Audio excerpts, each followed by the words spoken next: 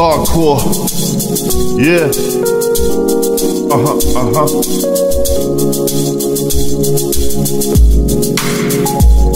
God.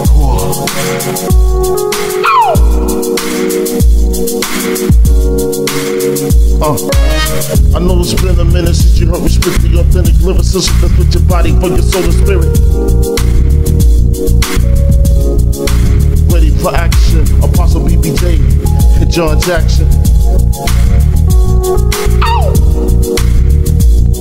It's GODkore, baby. It's GODkore, baby.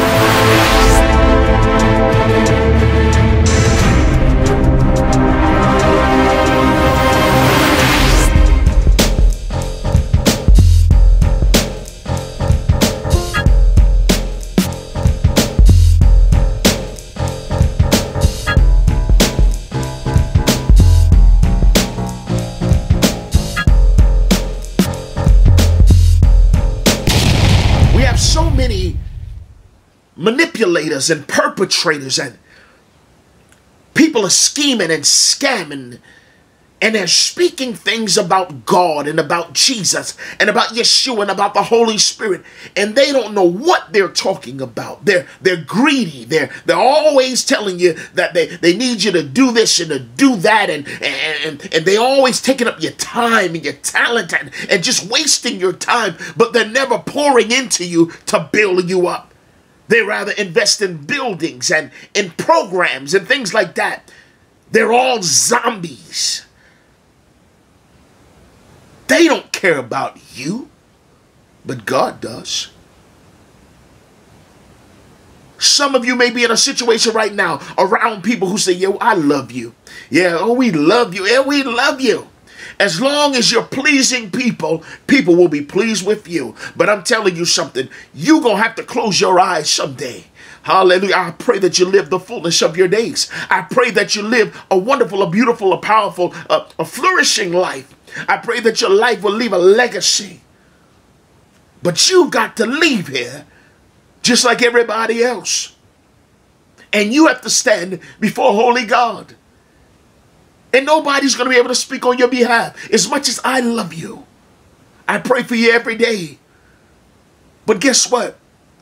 I can't say anything on your behalf when it's time for you to go and you stand before holy God. I can't text God, can't send him an email, can't do it. And I know you may say, well, you know, I'm I'm part of a good ministry. Yeah, we we under this and we under this banner and, and our bishop and our apostle and our, our prophet and the woman of God and man. I, I know you're cheerleaders for your leaders, and that's a beautiful thing. But make sure that you're following somebody that's following Christ. Not the ritualistic and religious and the super sanctimonious and the churchological systems of this world. Because the Bible lets us know Jeremiah 10 and 2, learn not the way of the heathen. A whole lot of folk are caught up in that. People are doing what they see the next person do.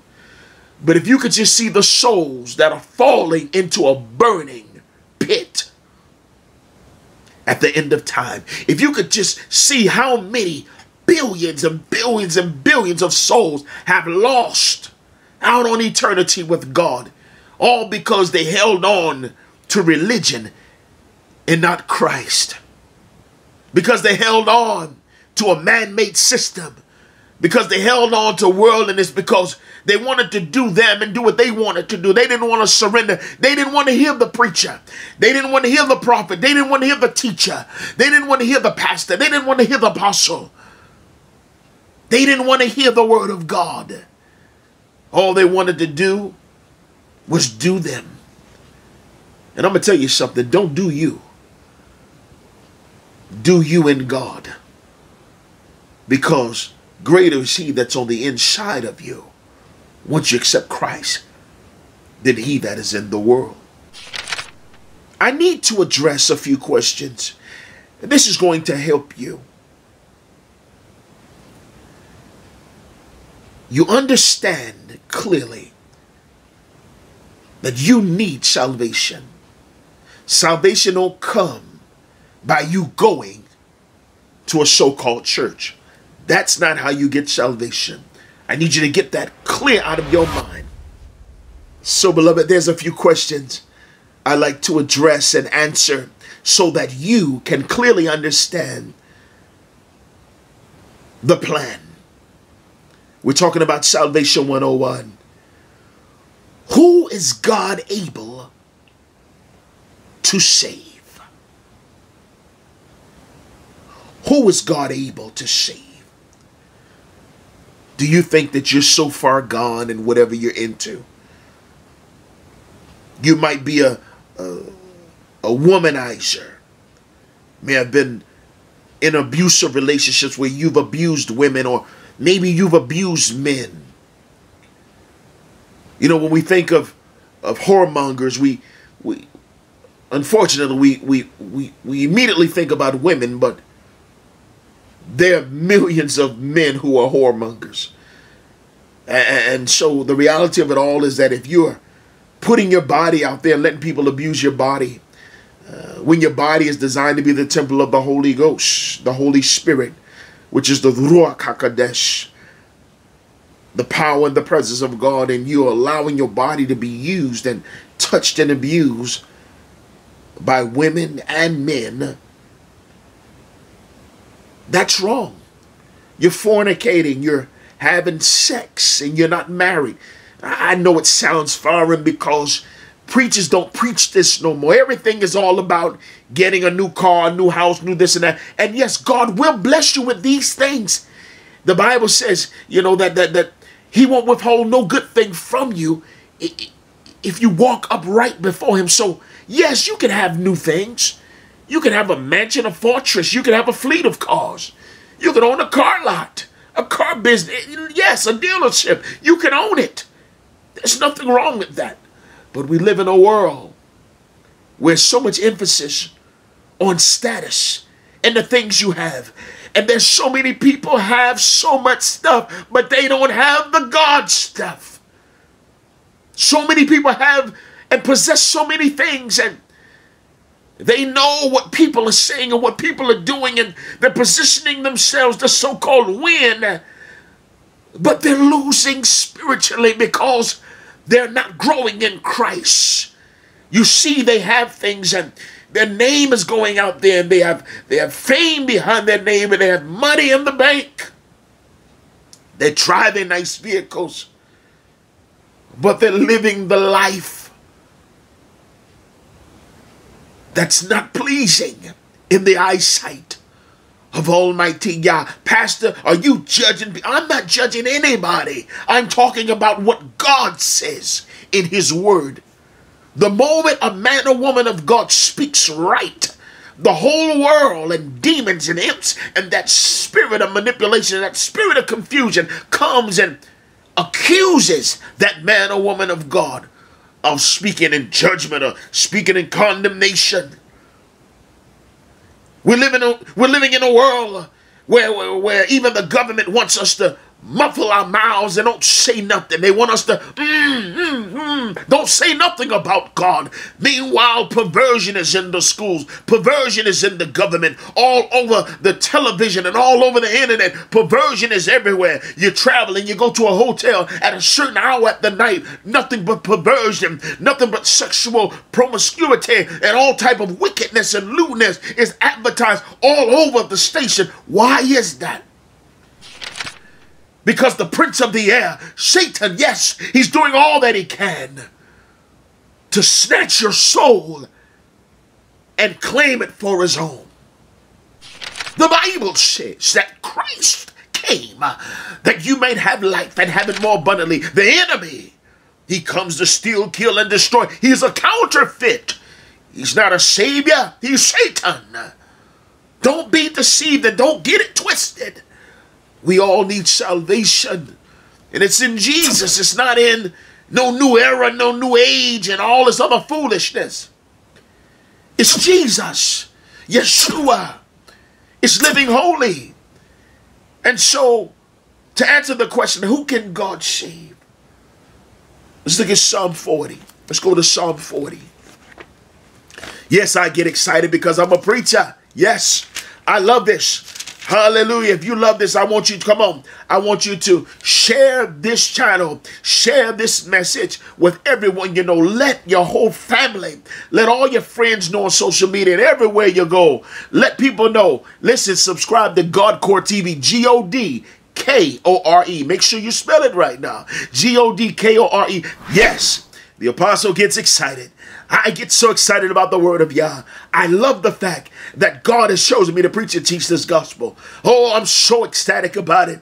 I, I, I, pray that you're being blessed by this. I want you to, to share this message with all of your family and friends. Matter of fact, I want you to let your friends and family know that you have kingdom connected with an end time soul saving kingdom power movement, and it's called GODkore. G O D K O R E. That stands for God's Kingdom Outreach Revival explosion. Yes, we are an end time soul saving kingdom power movement. We are a part of the global body of Christ, the global hip hop end time soul saving revival is on and popping. World in the fix, caught up in the mix. Everybody wanna be down with the clicks. The spirit of mankind, perverted sick. Wicked is the heart, the mark of the beast. It's in full effect and we're coming to a town near you to preach and teach the gospel of the kingdom and to impart it to the people that they in this end time must be hip to who God is in order to hop, have overcoming power in the Ruach HaKodesh. I'm telling you, God is doing an awesome thing in this end time, and I'm so glad and I'm so thankful that I'm able to be used, not for my glory, but for his glory. You ought to be able to look at a person, hear a person. You ought to be able to know if they're genuine or sincere or not. You ought to be able to look into their eyes. I know in Hollywood, everybody with the dark shades and you know, want nobody to see your eyes because the eyes are the window to the soul. And most folk, they either high or, you know, they own something or they, they're bugging out. And you could see some things when you look in people's eyes. Hallelujah. The next time you see somebody with some shades on in the dark, you'll remember what I say. Uh, you need to look in folk eyes. You need to see what they're dealing with, what they work. Ain't nothing wrong with some shades. Ain't nothing wrong with being cool. That's your thing, you know. But you're really cool when you choose Christ. Hallelujah. If you really want to be cool, you want to be sanctified, you need to be rolling with Christ. Hallelujah. And so and so Psalm 40, we find this. We find this awesome, awesome, awesome uh, group of words uh, that, that are very impactful and encouraging, especially in such a time as this. Who, who, who will God save? Who can God snatch out of the pit? Who? Psalm 40 and 1 says this, beginning at the first verse of Psalm 40. I waited patiently for the Lord, and he inclined unto me and heard my cry. Mm, ain't that something? Have you been waiting on the Lord? Have you been praying for something? Are you tired of your situation? Are you are you just sick and tired of being sick and tired? Do you want to be set free from the bondage of sin? Oh, I tell you, there's power in the blood. There's power in the blood. You can be set free right now. Romans 10 and 9 show you how. You don't have to be bound in sin. You can be set free. Oh, what's all this preaching about, BBJ? It's all about you understanding how important it is in this hour. Not to focus on some type of temporary man-made concocted uh, pandemic vaccination. Uh, but soul salvation. You must be born again. John 3 and 3. Come on here. I know preachers not preaching this. People, they're preaching everything but the gospel. They're preaching the gossip, top, hot topics, and this and that. You know, they, are talking about this. I, I know people not preaching this. I know a lot of people not focused on this. They're talking about hot topics and, and, and political stuff and this and what the world is doing and what society is doing and uh, who's who got a new boo and who got a new baby and who got pregnant by who and, and who cheating on their, their husband and who cheating on their wife and uh, who's this and who's that. Who got the top the, the, the, the top shelf liquor now and and, and, and, who's number one on the chart and who got the hot song and who did the oh but are you saved? Have you been born again? Don't tell me you go to church. That's foolishness. I don't want to hear that. Tell me you grow in the church. Tell me you have become the church. Whole lot of folk are gathering. But then there's a whole lot of folk together and they're all confused.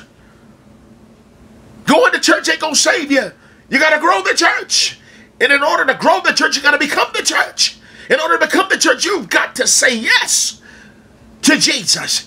You've got to be full of His Spirit. You've got to be born again. You got to become a new creature. Can't be the same you was before. You got to be new. You need a new mind. You need a new spirit. You need a new heart. You need a new perspective on life. Some folks so negative, if you put them in a dark room, they might develop. Do you know any folk? Some people are without hope.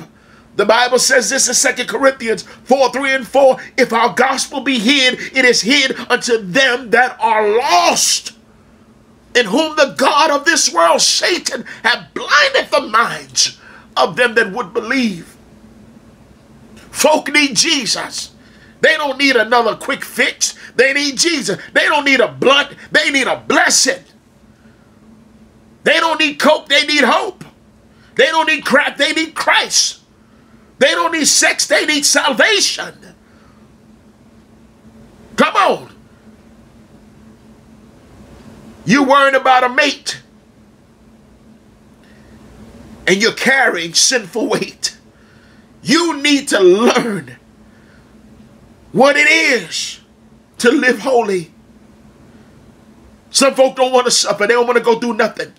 They don't want to go through no trial. They don't want to go through nothing. They just want everything smooth sailing. And so people are afraid to war. They're afraid to, to fight in the faith. They rather fight in the street. They rather hold their phone and say, World star. When you ought to be worshiping God. Just like people are quick to grab a phone and to videotape some foolishness and buffoonery and post it, we ought to be posting the word of Yah. We ought to be grabbing the word of Yah and sharing our faith with people in this lost soul, godless society where the morals and the and the and the the, the, the, concept and the and the foundation of our faith is being challenged daily because we're living in the world where people want to live and raise hell instead of bring down heaven. Thy kingdom come, thy will be done. People want to be churchified instead of being sanctified. It's all about the kingdom. If it's kingdom, it will bring them. You need a kingdom mindset because your mindset will determine where your behind set. Think on this wise. Get your mind right. I waited patiently for the Lord, and he inclined unto me and heard my cry. God will hear your cry. I don't care what you've been through. I don't care what people have done to you, how people talked about you like a dog. I don't care. You may feel like you've dropped the ball. You may feel like you let yourself down and let everybody else down. Forgive yourself. Ask for forgiveness. Keep it moving because folk ain't got a heaven or hell to put you in. And I'm telling you something. People love to see you struggle. They love to see you down. But the moment you get up, hallelujah, glory to God, your phone will be ringing. Your email will be full. People will be trying to text you and everything because they sense something is happening because when you become new in Christ, God will raise you up. Verse 2 says, He brought me up. Are you down? Are you trying to be down? You really think you cool? You really think you rocking? You, you really think you clocking and copping?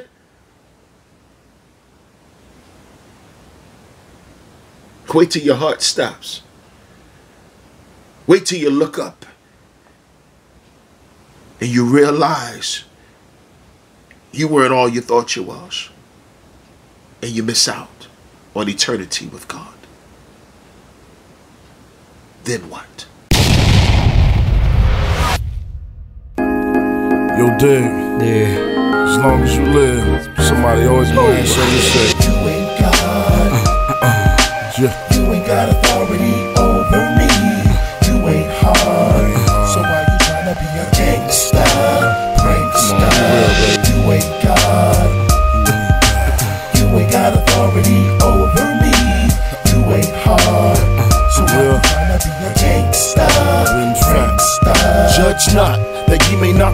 My peace. Matthew 7 to 1, pause, hold your peace. Now release, inhale, exhale, get open. Matthew 15, 8 and 9, stay focused. Let your mind be renewed with attitude to match. No room in the end. Now, how you diss the Lord like that? The world is full of talebearers with their life so intact. Without grace and mercy, the worst for you be two in the back. Now, picture that with a Kodak, you up in the R with the burning sensation from your neck to your arm. That reality not far, closer than you realize. Even if words could kill, I die, and in three I shall rise. Faith without works is no worth. It's like a congregation congregating with no concept of church. Forever I'll seek the kingdom first. That way the apostle BBJ is guaranteed no lack of thirst. Jesus is uh, Christ the King is yeah, the Lord is. Question is, uh,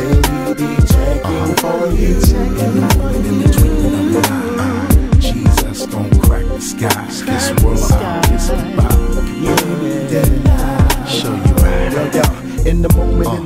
in the twinkling of an eye, it's gonna be something. Every now and doubt in time, it's gonna see something.